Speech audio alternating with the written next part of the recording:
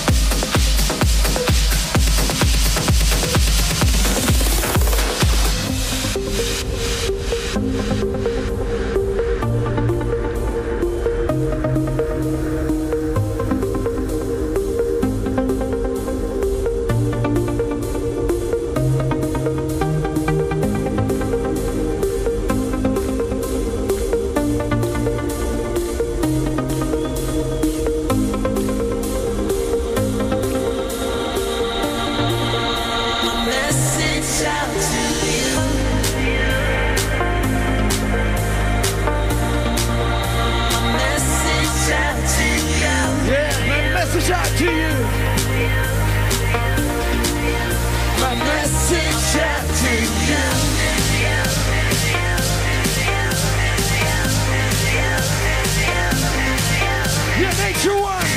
This is my message out to you.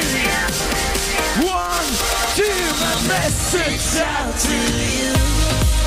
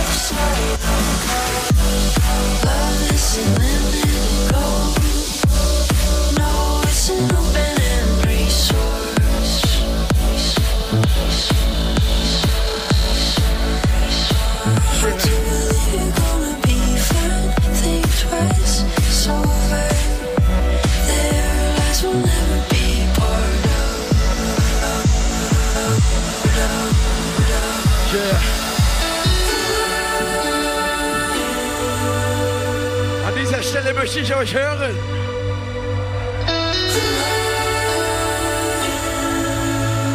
Und an dieser Stelle möchte ich euch sehen.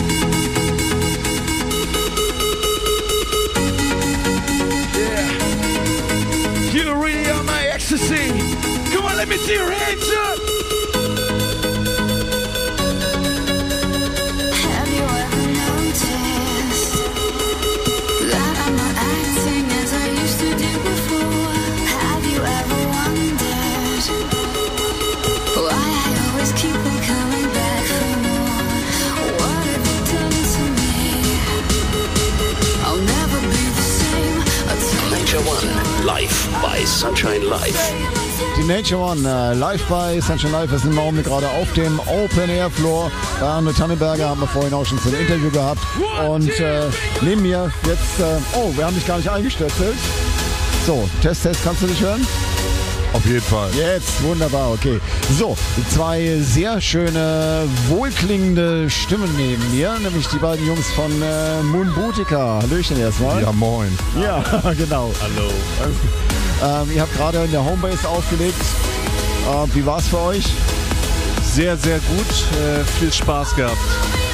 Äh, ihr seid, glaube ich, auch traditionell, traditionell seid ihr Freitagsaufleger auf der Nature, oder? So ist es. Also ich glaube, die letzten Jahre immer Homebase gewesen. Äh, die wievielte Nature war das inzwischen für euch? Ja, das ist eine gute Frage, aber ich glaube, das geht so langsam auf die 20 zu. Alter Schwede. Dann, äh, also Ich hätte jetzt 20 27, 28. Ja, das wär, könnte ein bisschen knapp werden. Okay. ähm, habt ihr eure erste Nature gleich als DJs erlebt oder wart ihr auch, äh, gehört ihr auch zu der Generation, die erstmal Gast waren auf der Nature und später geadelt worden sind und auflegen durften? Nee, da wir ja aus Hamburg kommen, äh, ist äh, das immer ein bisschen weit weg gewesen. Wir sind tatsächlich als DJs das erste Mal hier gewesen. Okay, also gleich, gleich gebucht worden. Aber 20. Nature, das heißt, ihr seid auch schon richtig, richtig, richtig lange hier dabei. Naja, also es geht auf die 20 zu. Wie Ja. viel es genau ist, man weiß es nicht. 14 Wir, wir haben vielleicht. das nicht so mit Zahlen. Deswegen sind wir das, DJs. das ist ja auch das, genau, deswegen seid ihr DJs geworden. Da muss man nämlich nicht zahlen, da kriegt man sogar noch Kohle. Da dafür, kriegt ne? man Da kriegt gezahlt. man gezahlt sogar. Ja, ähm, ihr habt mich sehr verblüfft in, äh, im letzten Jahr mit der Lost and Found. Eine unglaublich groovige, aber auch wahnsinnig äh, kommerzielle Nummer. Wie, wie kam es zu diesem Ausflug? Ja, also das ist äh, tatsächlich entstanden, weil wir die Stimme von Bondi gehört haben und gesagt haben, das ist geil, da wollen wir mal einen Track mitmachen und dann ist die Nummer rausgekommen. Und äh, wart ihr überrascht von dem kommerziellen Erfolg von der Nummer oder war euch das von vornherein klar, dass sie so einschlagen wird? Das ist, äh, das ist eine sehr gute Frage. Also eigentlich äh, erwarten wir alles und äh, Ja, also wir denken in diesen Kategori Kategorien gar nicht. Weißt du, wir machen die Musik, die kommt raus, die will raus, die ist vielleicht schon immer da gewesen, wir haben sie nur freigelegt und ähm, wir sind da nicht so konzeptmäßig, sondern wir machen das und dann äh, passiert das eine oder das andere, ist uns ehrlich gesagt egal. Ja, trotzdem muss man ja irgendwann mal die Entscheidung treffen, das wird jetzt released oder es äh, bleibt immer, es wird als Single released Ja, aber ich meine, ich sag mal so, wir haben jetzt fünf Alben äh, released in den letzten fast 20 Jahren und echt viele verschiedene Musik rausgebracht und uns persönlich ist es immer wichtig, dass es uns beiden gefällt. Äh, wir unterliegen natürlich auch Stimmung und wir unterliegen natürlich ganz klar auch einer Entwicklung. Und ich sag mal so, wenn wir beide da im Studio sitzen und was gut finden und das fühlen, darum geht's ja, dann äh, ist jetzt erstmal sozusagen diese völlig fadenscheinige, äh, fadenscheinige Diskussion, ob was kommerziell ist oder nicht, was ja immer im Ohr des Betrachters Ja, hängt. letztendlich Ja. äh, kommerziell heißt letztendlich nur, äh, wie, wo, wo läuft es eben überall. Weißt du, ne? ich, ich habe seit 20 Jahren immer Spaß mit diesem Gedanken kommerziell von diesen Underground-DJs, Ja. die dann mit Privatjets durch die Gegend fliegen. Das ist immer so das, wo ich immer denke, ey, was soll diese Diskussion irgendwie? Wir haben die Lost and Found äh, gemacht, die musste genauso sein, wie sie geworden ist. Wir haben jetzt zum Beispiel gerade eine ganz neue Nummer, die heißt Hibernating. Da äh, wird dann auch wieder bestimmt schnell mit diesen Kategorien rumgesch äh, rumgehantiert. Ey, ohne Scheiß, ich kann dir das gar nicht sagen. Wir machen die Musik, wir haben da wahnsinnig viel Freude und Spaß dabei. Und je mehr Menschen das berührt, desto besser ist das. Und wenn ich am Dienstag nicht ins Callcenter rennen muss, sondern einfach von meiner Musik leben kann, dann umso besser. Ja, das ist, äh, das ist die, die, die, die Zielvorstellung, denke ich. Du hast gerade schon gesagt, neue Scheibe Hibernating. Ist sie schon draußen oder kommt die erst noch? Die ist äh, genau seit einer Woche draußen. Okay, alles klar. Und das ist, äh, ich habe sie leider selber noch nicht gehört. Das ist von der, von der Machart her. Ich würde mal sagen, das ist, geht dann doch eher noch mal so ein Stück Richtung klassisch so Disco, Okay. Disco-eske Funk-Elemente mit einer äh, bezaubernden Sängerin aus Hamburg, die tatsächlich erst 16 Jahre alt ist, Okay. die den Vocal gesungen hat. Ähm, Zoe heißt die sensationell und ich sag mal so, die Nummer ist ein totaler Sommertune. Ich krieg da mega gute Laune. So im Original würden wir das jetzt im Zweifelsfall nicht in unserem Set spielen, aber wir haben schon einen dopen Remix gemacht und das passt dann schon. Mein werter Programmleiter hat mir gerade gesagt, dass die Hibernating am Montag im Programm von Sunshine Live in der Das ist Rotation eine läuft. sehr, ja. sehr, sehr gute Wahl, Ja. Freunde. Habt ihr Dann muss, sie, gemacht. dann muss sie einigermaßen kommerziell sein. Ja, wie gesagt. Ne? Ist, ich, ich liebe dieses Wort so sehr. es ist für mich, ich meine das absolut nicht abwertend. Das Nee, ist, äh, also- viele, also ich, ich weiß, das ist natürlich, äh, äh, das, das, das hat lange Zeit hat das wirklich einen sehr, sehr schlechten äh, Beigeschmack gehabt. Dieses kommerziell, das war so ein Stempel, so ein Motto, äh, ihr seid ja kommerziell geworden. Aber das ist, man muss, man muss es einfach mal so sehen. Ähm, Sunshine Live würde es nicht seit äh, 22 Jahren geben, wenn Sunshine Live nicht auch kommerziell wäre. Wie gesagt, äh, Uns ist das total egal. Gute Musik Ja. ist gute Musik und Ja. schlechte Musik ist schlechte Musik.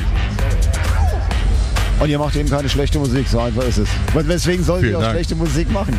Nein, also ich liebe eure Sets, ich liebe eure Sets schon, schon wahnsinnig lange und äh, ich liebe auch, dass ihr euch, äh, dass, dass es bei euch immer Überraschungen gibt, dass eben so eine, so eine, für mich war Lost and Found vor allem eine Überraschung, eine sehr positive Überraschung, weil ich sagte, ach guck mal, können ja auch sowas. Und äh, wie gesagt, ich habe euch auch schon gefeiert, als ihr noch viel minimalistischer unterwegs war, so als Minimal hochgekommen ist und äh, da, da habe ich äh, das schon, äh, habe ich schon Moonbootica Sets gefeiert und habe mir die gezogen, wo auch immer ich sie bekommen habe, weil das einfach ein richtig geiler Sound war und heute spielt ihr immer noch richtig geilen Sound und vielen, vielen Dank. also von, von Ich mir kann, aus. nur, ich kann dir nur sagen, sowohl was wir quasi im Club oder auf dem Festival spielen, als auch das, was ähm, productionmäßig aus unserem Studio kommt. Wir machen das alles mit verdammt viel Liebe. Das ist das, was uns antreibt. Wir hören wahnsinnig viel Musik, unterschiedliche Musik. Und ähm, das ist eigentlich alles. Und wenn du dann sowas sagst, dass wir Menschen über so viele äh, Jahre auch äh, berühren, ja, dann ist das alles, worum es uns geht. Ähm, danke. Ja, also Moonbootica, wie gesagt, das ist jetzt auch kein Geschleime, sondern das ist durchaus äh, auch für, für, für sehr viele Leute. Das ist staubtrocken hier einfach, überall. einfach, einfach eine Institution der elektronischen Musik, das ist halt einfach so.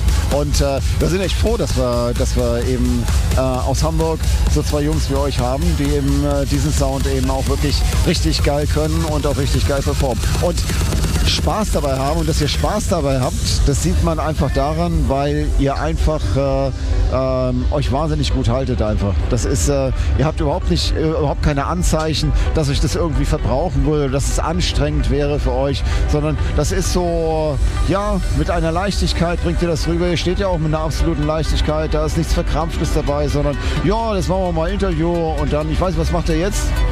Danach? Weitersaufen. Ja, das ist natürlich hält jung, klar. konserviert, habe ich mal irgendwo gelesen. Das kann natürlich auch sein. Mumutiker aus Hamburg im Interview bei Sunshine Live ähm, haben in der Homebase gespielt. Neue Scheibe Hyper, sag's mir nochmal. Hibernating. Hibernating ab Montag im Programm von Sunshine Live. Nature One, live by Sunshine Live.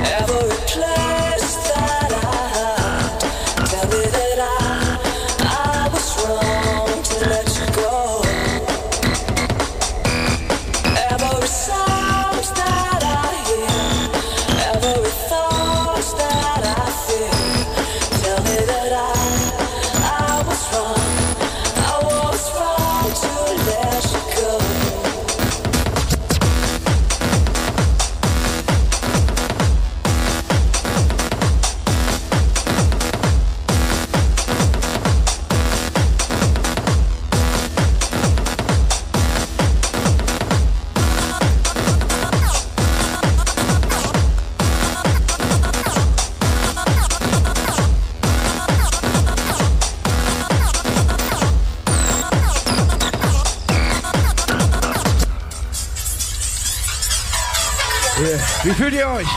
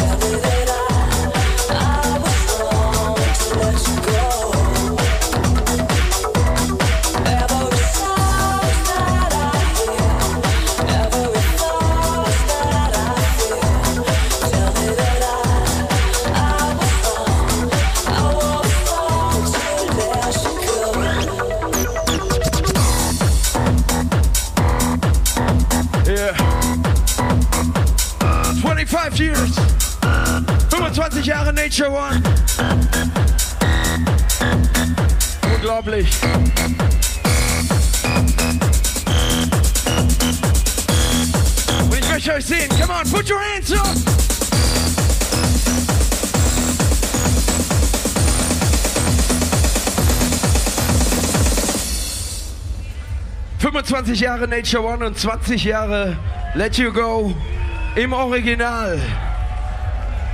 Kein Remix. Und an dieser Stelle nochmal. Make some noise!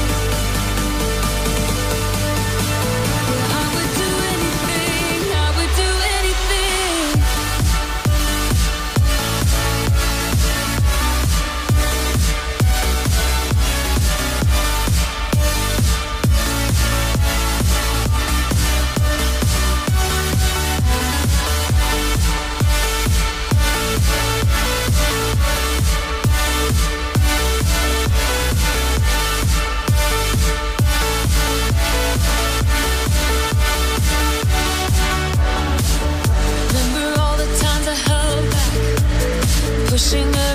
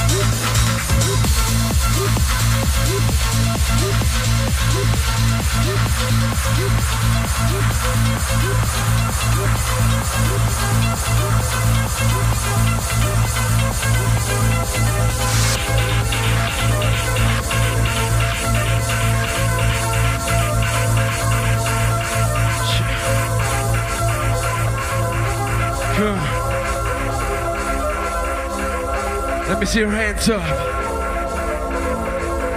Nature One.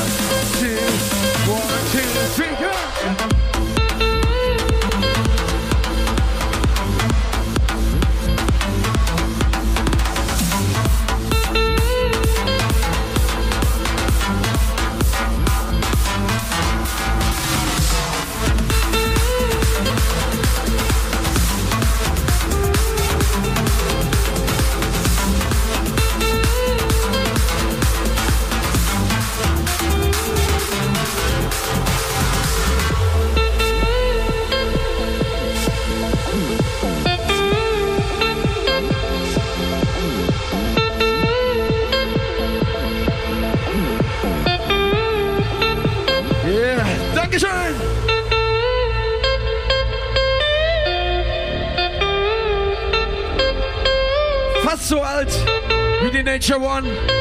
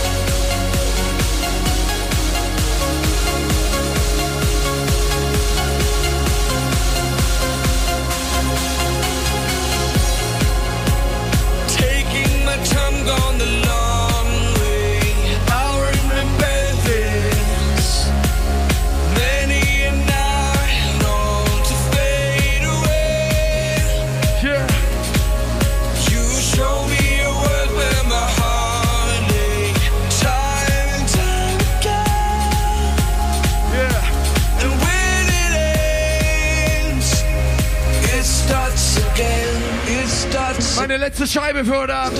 Dankeschön, Nature One. For big support. Nature One, 25 years.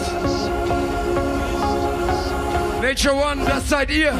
Dankeschön.